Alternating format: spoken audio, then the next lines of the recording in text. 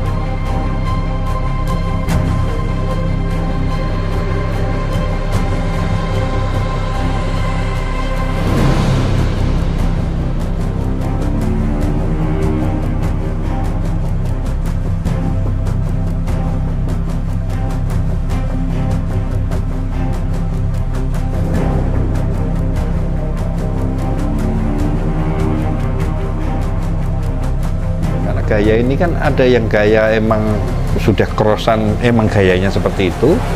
Seperti orang pengen gayanya sujud, itu bisa disetting. Dari puding bisa, dari tangkringan bisa, kan gitu. Kan gitu, bisa kalau itu. Cuman ada kalanya burung itu kalau nggak kondisinya maksimal, itu biasanya berubah ke aslinya dan itu beresikonya kadang-kadang jedah ya nggak nggak nggak seperti apa namanya eh, beda. Kalau kayak turunan seperti Gardapati yang ini ya anaknya Gardapati di cross well, gayanya tetap seperti itu. Emang dia sudah terahnya seperti itu. Dulu silangan-silangannya itu mungkin ada larwonya atau ada ada silangan yang emang silangan keberapa dari larwo kan gitu. Emang itu udah udah gaya tapi yang lain pun bisa bisa disetting ya itu cuman kalau posisi burung itu nggak maksimal biasanya di setengah perjalanan ada aja. Ya jedah lah apa kalau seperti gadapati emang gayanya seperti itu. Walaupun dia kalau jedah itu biasanya emang fisiknya nggak dapet. Seperti sekarang ini kan emang belum maksimal ya karena pasca mabung kayak Gadapati sendiri itu kan makanya suka ada jedah dengar kan. Itu kan memang ya fisiknya belum dapat belum maksimal kan gitu tapi asli gayanya ya emang seperti itu gitu Oh, kembali ke pembahasan Gagapati. Hmm. Rata-rata itu kan murai yang sujud ke bawah itu selalunya pelan. Nah, itu- Tapi kenapa bisa beda dengan gagah pati? Atau Ah. memang turunan atau memang settingan lombanya memang dibuat? Gini, tadi saya jelaskan kalau sudah terasilangan seperti Gardapati itu, dia makin sujud seperti Larwo, makin bongkar. Tapi kalau sujud settingan itu ngerayu ya, bukan sujud, bukan macul sujud loh. Itu settingan ngerayu. Di saat ngerayu itu pasti kebanyakan ada yang nahan. Tuh, ada yang macul langsung sujud itu biasa maculnya kosong ada beberapa ini burung yang emang udah nasional saya perhatiin. Entah di YouTube-nya dan saya nonton langsung di lapangan. Nah itu kan ada beberapa burung yang gayanya mah eksotik. Kalau kita lihat secara di video gitu seperti wah eksotik sekali. Uh, gitu. tapi ternyata saya juga yuri ternyata di bawahnya itu emang bener-bener ada kosong nih burung kan gitu loh hanya orang mantau di luar ngeliat di luar itu emang bener-bener apa burung ini dari gaya apa menurut versi penonton udah pasti harus juara kan gitu. Cuman ternyata ya itu tadi setelah saya amatin dan saya juga sebagai yuri di bawahnya itu saya lihat emang kadang ada kosong. Nah itu silangan-silangan seperti itu yang kita mulai cross lagi gitu. Kita cross lagi karena itu mungkin ada seri ya silangan dari seri. Seri itu kan silangan dari Borneo. Borneo itu kalau di rumah materi bisa kita adu volume bisa kita adu dengan burung-burung biasa. Tapi kenapa di saat burung itu dilombakan kenapa hanya sejalur kalau nggak mata-mata? Karena apa Borneo itu mengutamakan vektornya? Makanya orang ngecross dari Borneo itu kita ambil vektornya ada seri F1, seri F2, seri F3, sadar sampai seri F4 kan gitu. dimaksimalkan sampai dia kelemahan Borneo itu apa sih? Nah kan gitu. Nah itu sampai dibikin licin kan gitu loh. Dalam arti tidak ada kosong ya. Tapi sebenarnya itu tergantung perawatan. Yang namanya seri apa itu kalau kita ngerawatnya oper sedikit ya emang seperti itu resikonya. Gitu. Tapi kalau pas settingannya licin tuntas semua bawain materi. Karena apa? Emosi dia. Emosi dia itu yang emang benar-benar harus pas. Kalau seri F itu emosinya harus pas. Gitu. Ada yang dibikin sujud ya kan? Tapi ternyata banyak bulat itu banyak saya temuin di lapangan itu banyak dan tidak usah dijelaskan karena apa? Ya saya sendiri yuri cuman cuman versi di luar bahwa burung itu sujud itu udah pasti materi kan gitu loh. Nah ini yang dengan adanya lomba-lomba G ini sebenarnya pembelajaran juga lah buat teman-teman kicomania supaya apa sih sebenarnya burung saya ini di lapangan. Jangan lihat di rumah ya. Di lapangan di saat di factoring kenapa burung ini kok nggak masuk? Ternyata itu ada yang mata-mata karena versi penilaian juri kan yang dinilai kan irama lagu dulu. Gitu. Walaupun gayanya istimewa tapi sejalur kan kalau dibilang eh, lagunya apa? Ya satu kan gitu loh sejalur aja. Dia hanya menyang durasi sama volume rata-rata itu. Nah dari situ kita belajar ini mau BF ini kan apa sih kelemahan-kelemahan kalau burung ini seperti seperti ini? Nah kita cross gimana caranya supaya sampai maksimal? Kan gitu. Minimal tidak ada apa ya tidak ada kelemahan yang buat Yuri itu selalu beralasan ya. Ya mohon maaf saya juga Yuri kan gitu loh. Tapi intinya tidak ada yang bisa dibilang wah ini kurang ini kurang. Kalau bisa seperti itu kan gitu. Ya tapi tidak ada yang sempurna ya. Tetap semua tergantung perawatan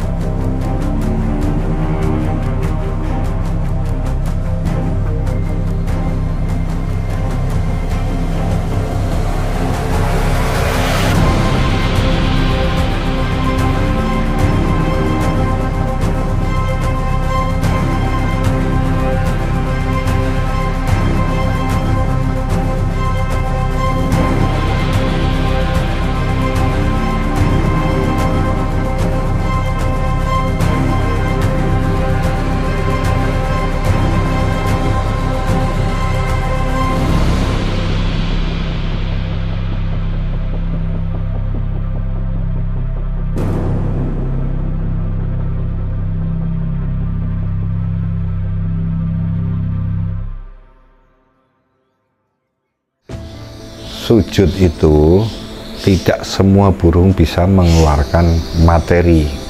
Ada yang bisa mengeluarkan materi biasanya tidak los ya, volumenya itu nahan. Karena itu biasanya burung settingan. Di setting sujud, dibikin birahi kan gitu loh. Makanya kan kalau di lapangan ya sebagai pemilik, sebagai joki, saya sih berharap apa ya? Ya benar kalau joki itu selalu ngomong karena itu pegangan dia. Selalu ngomongnya ke bosnya kan selalu oh edan istimewa pokoknya. Nah sementara Yuri yang di dalam itu lebih jelas sekali kan gitu. Dan juga saya berharap ke pemiliknya pun ya harus benar-benar bisa melihat itu burung benar-benar gaya aja keluar materi apa ngukluk itu harus benar-benar paham kan gitu. Jadi apa harapan saya yaitu tadi antara joki pemilik dan yang paling utama juri. Kan gitu loh. Juga kalau emang burung itu real jangan cari alasan kan gitu loh. Entah itu wah materi nggak keluar atau apa kan gitu. Jadi sinkron antara pemain joki sama pengadil sendiri.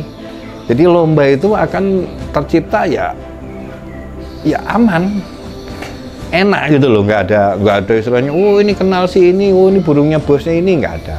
Itu tapi emang agak sulit lah ya namanya kita udah dibikin GGG aja masih.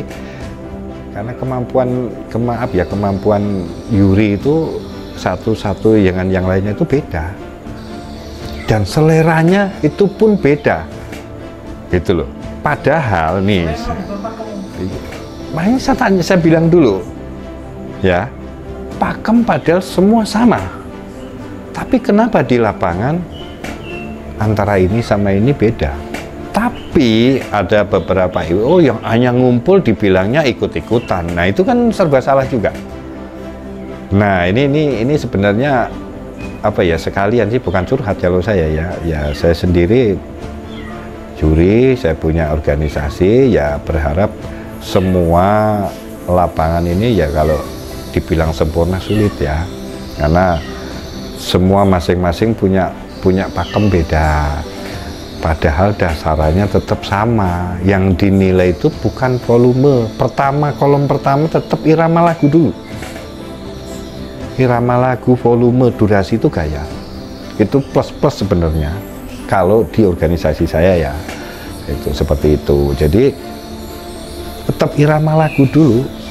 Wah, burung nyepit apa semua. Ini kan sekarang ini belum ada pembahasan yang seperti zaman dulu lah saya main burung yang dengan ketatnya harus ada penyisian terus baru difinalkan.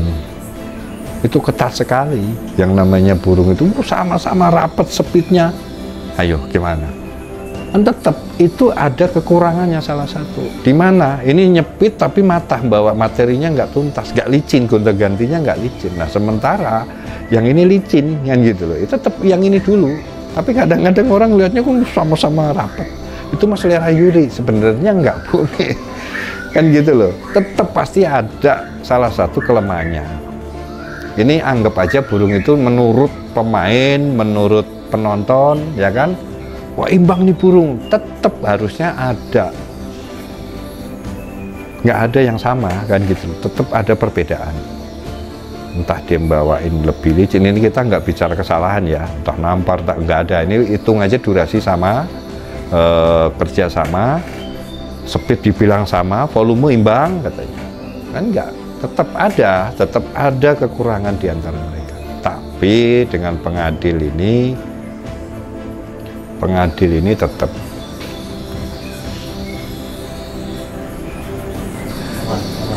ya. Pengadil ini tetap tetapnya apa kenapa ya? Karena ya itu tadi dibilang selera. Sebenarnya nggak selera? Aslinya emang apalagi sekarang sistem blok ya. Mungkin di saat saya ke situ jelek. Walaupun di luar sama-sama begini. Nah, rotasi itu nah mungkin pas Yuri ini pas enak kan gitu loh. Itu sebenarnya tidak bisa disalahkan juga. Karena apa? Ya karena sekarang ada rotasi kan burung sekarang ini 24 gimana seperti saya dulu 70 burung.